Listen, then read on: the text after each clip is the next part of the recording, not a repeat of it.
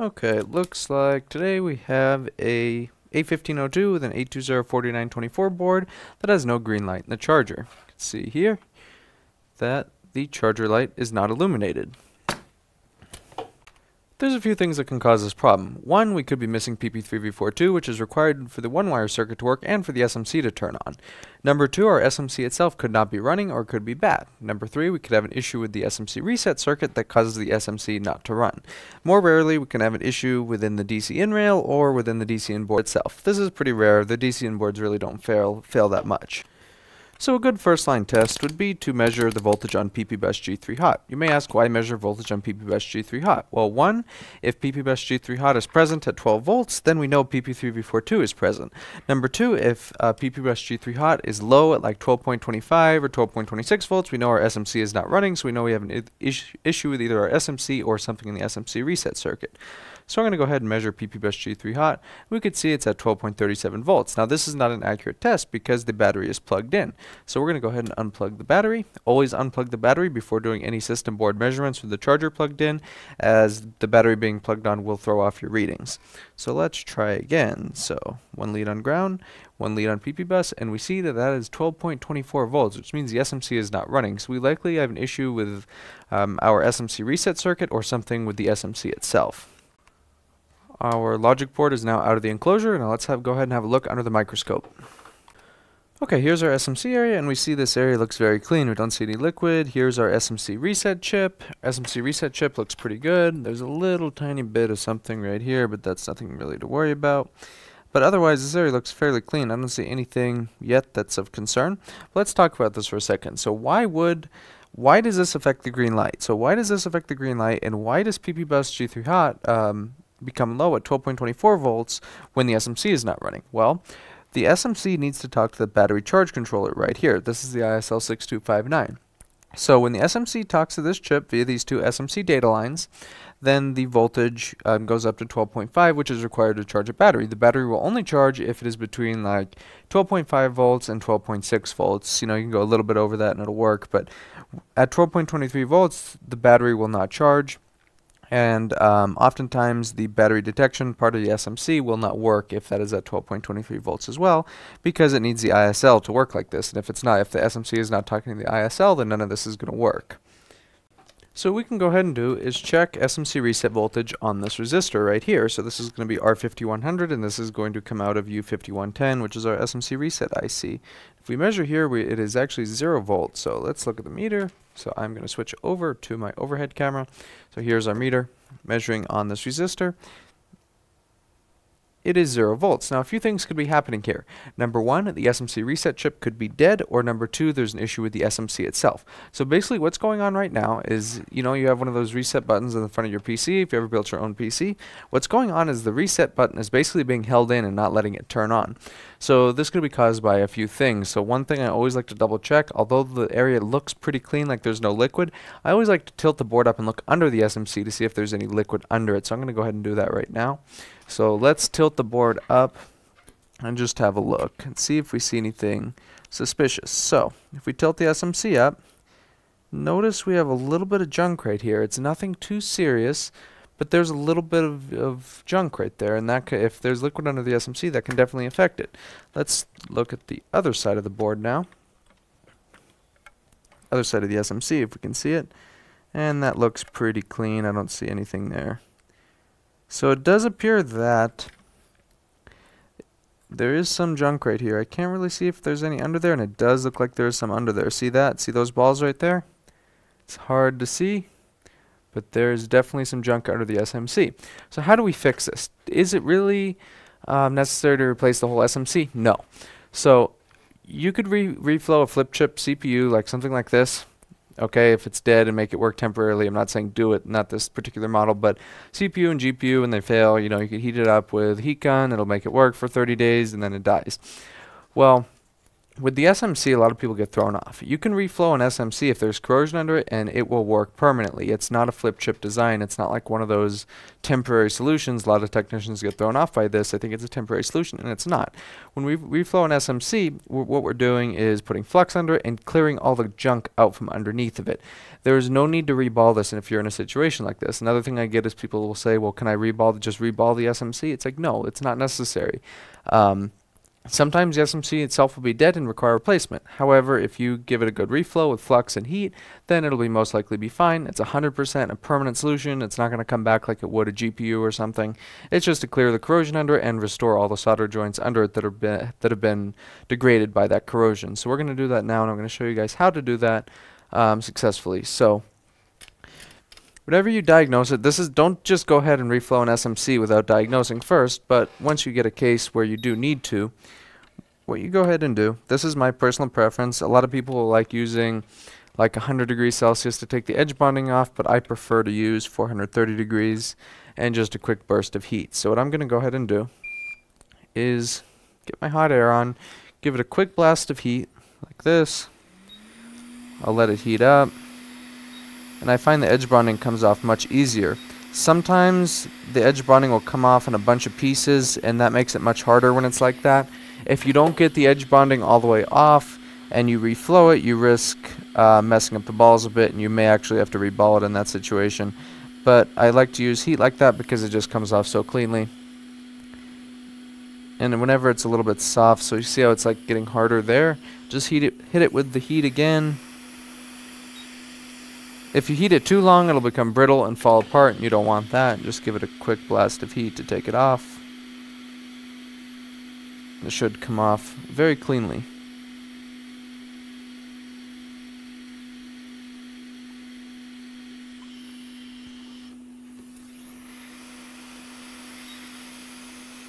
Another thing about the SMC, they are very resilient to heat. So it's not one that you're really going to overheat by, you know, cooking it with too much heat these things these things are pretty tough and resilient to to heat so compared to like a CPU and you heat it and it can die very easily these things are pretty tough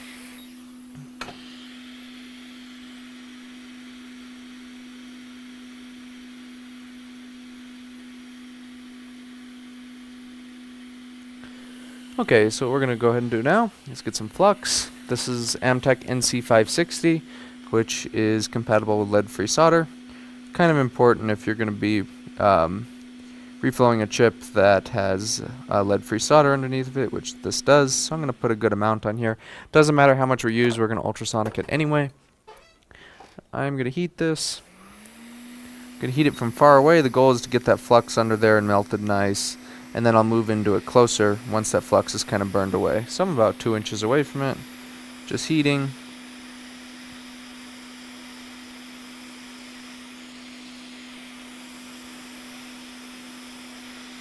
Eventually here we'll see it start to move a bit. We'll tap it with the tweezers to make sure that it's completely reflown. We don't want to just heat it up. We want the chip to actually be liquid on all the balls to restore those connections. Now this only works if it's corroded. This isn't going to work if the, uh, the chip is dead itself or if there's no corrosion. Don't do this unless, unless you know there's corrosion under the chip. So see that it's liquid now. If I tap it with my tweezers, it moves a bit. You don't want to knock it off, so just make sure it's liquid. Then we're going to let it cool a bit before turning it on. If we look now, see there's a few balls under there that really don't look good, so there's two right there, so I'm, what I'm going to do, I'm going to go another pass on this. I'm also going to make sure there's, it looks like there's a little bit of something under here. I'm going to try and clear this out with my tweezer. It's not too bad.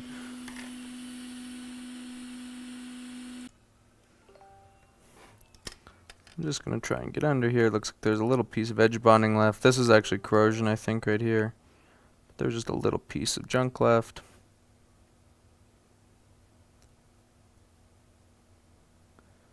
I can try and do now is give it another go. There's a little piece. You don't want to leave anything under here. However, that little piece isn't big enough to really do anything. So what I'm going to do is give it another run with the heat. And more flux, primarily on this side.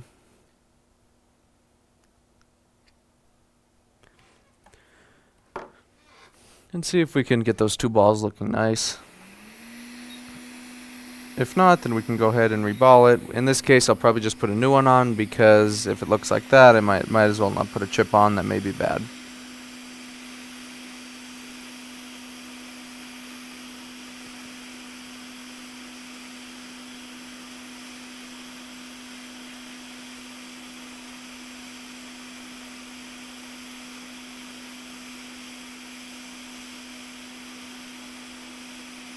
So that is fully reflown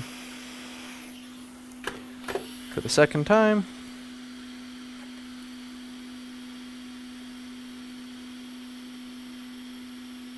Still looks kind of lousy, but after ultrasonic it may be better, so I'm going to test it here and then I'll look at it after ultrasonic and then I will decide if I want to replace that chip or leave it. It may be perfectly fine after ultrasonic because it may just be some junk left left on it from the corrosion and after we clean it it may just be washed away completely.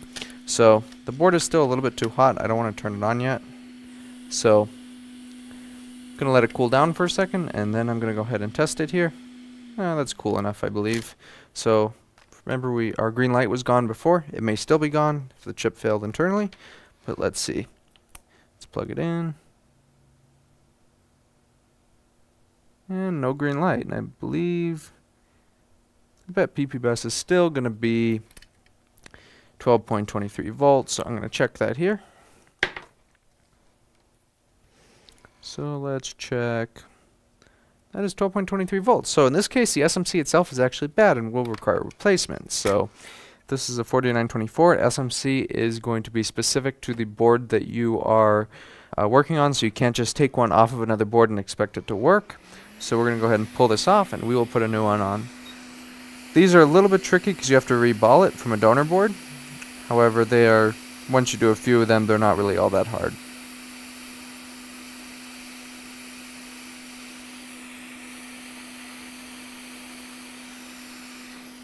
That's off, and you can clearly see where there was quite a bit of corrosion under there.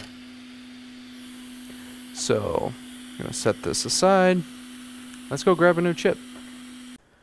So as many uh, channel regulars know, the SMC is going to be a chip you have to reball from a donor board. So you pull this off of the donor board, you get this thing called a stencil, put solder paste in it, put the chip in it, and then um, melt the solder balls, and th that's how you get the balls on this. It will not work if you just take the, the chip and put it on from the donor board because it needs, it's a BGA chip, you need balls on it. So we're going to go ahead and do that now.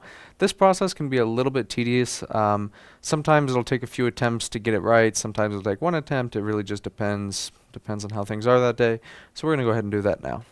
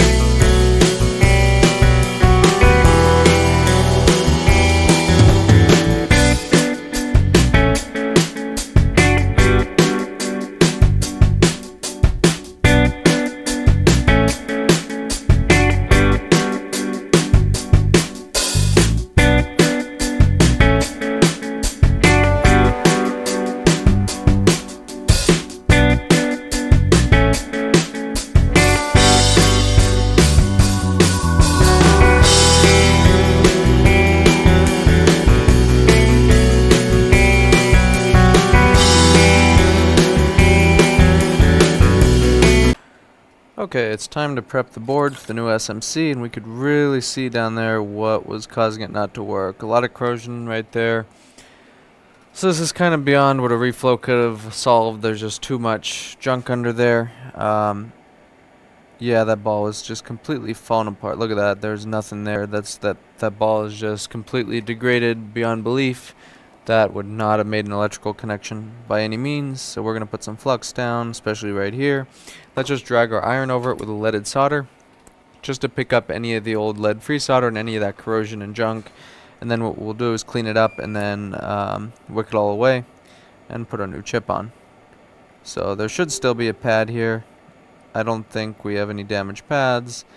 If we do, we may have to run a wire, which under the SMC will not be too fun in and of itself. So I'm just going to get this all cleaned up though. Anytime, so we do have a little issue right here, and I'm going to explain this in a second once it's cleaned. So I think that's good.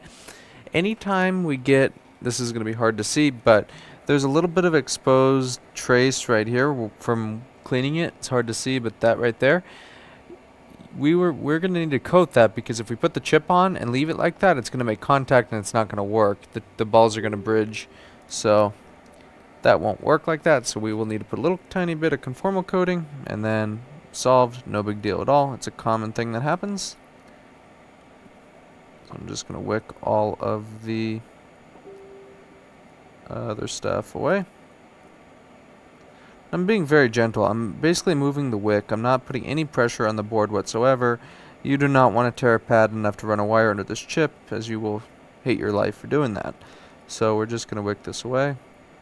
Keep going until all of it's gone. And it looks nice and clean. This should be good. So now, let's clean this with a Q-tip and alcohol. Get all this old flux away. Put a little tiny bit of uh, green conformal coating down. And this will be good to go.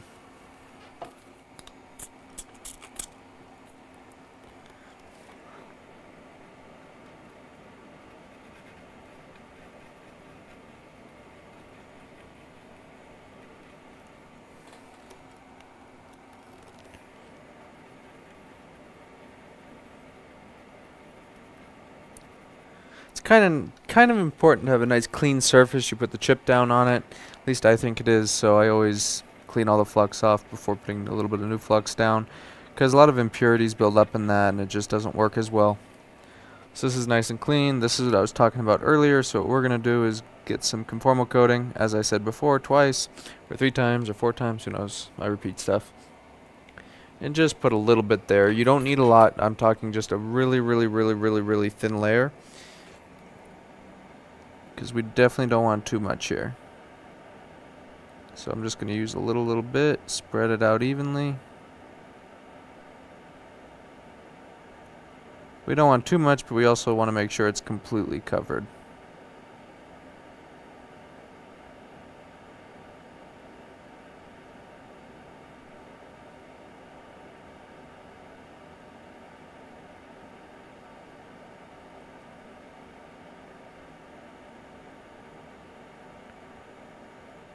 And that should be plenty just like that. So this kind of conformal coating it is um, UV curable so we're gonna need to use the UV light. Given the fact we have a really short layer like this a little tiny blast for probably about 15 to 20 seconds should be plenty. So we're just gonna give this a nice blast of UV light. Easier to see if I turn my microscope light off. It's easier to tell when it's cured. And I'm going to look through here. And through the microscope, it's hard to tell through the camera, but in person, you'll see it when it cures. It turns a different color. And it is almost there.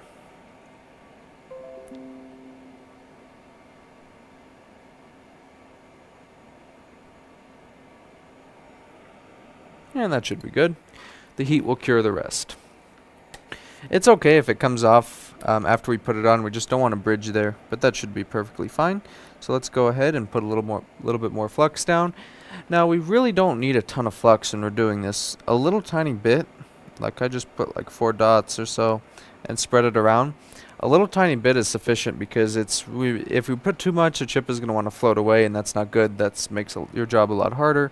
So we only really need a little layer just to go between the chip and the board and it makes uh, putting a BGA on a little bit easier. A lot of people starting will have issues with placement and having the chip run off.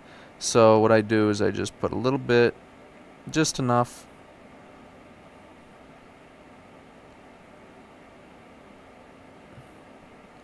Just like that. and this will help keep the chip in place and it won't run off as much as it would with um, putting a ton on. The issue with putting a ton on is the chip is just going to want to float away and it's yeah it's not going to be fun. So it's kind of hard to put an SMC on the wrong way because of the shape of the balls. So should go let's see it's kind of hard to see through the microscope but just look at it if you don't know which way it goes look at it without the microscope to see which there's a little pattern right here as you can see so there's a little pattern there and it goes this way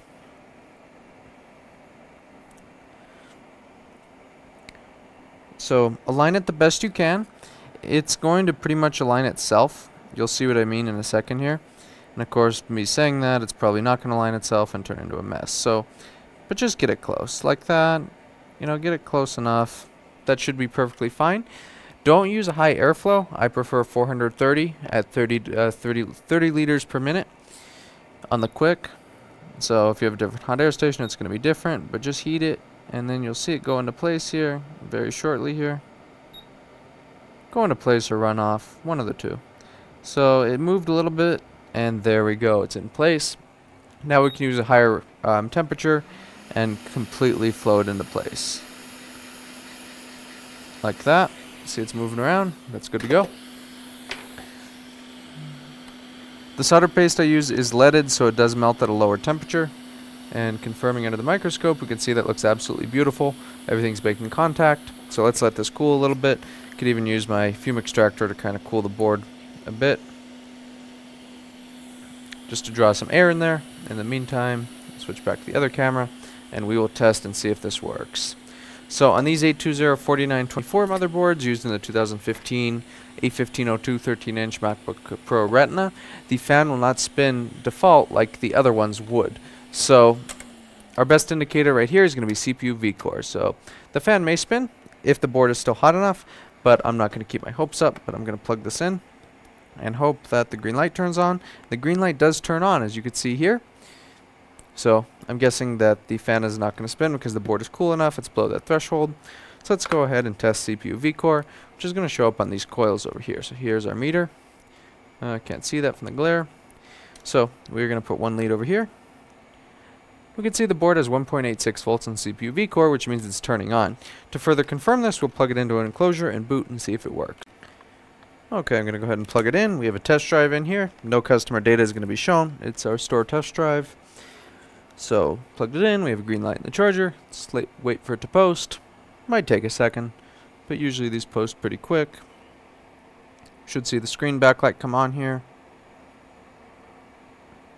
Retinas, it's kind of really hard to tell when the bright the backlight does come on. You're better off looking at the um, the Apple logo on the back of the screen and it's actually on. It just does not see a drive yet because um, it may have an older version. So sometimes our stored drive has um, High Sierra on it and sometimes the older ones the boards that do not have High Sierra or NUA on, on it will show a question mark but in this case just needed to see the drive for a second and it does. It's booting and let's see if it goes into the OS sometimes you'll get trolled by the uh, flashing question mark folder when in reality it's just the board is not updated for Mojave or High Sierra or Catalina. So you get um, if it has anything older than that it won't boot from it and you'll get thrown down a path. But yeah this works fine. Trackpad works. Everything works good. Shows a battery. It's at 100% so there's no need for it to charge. This is good to go. So thank you for watching and I hope this video helps you in some way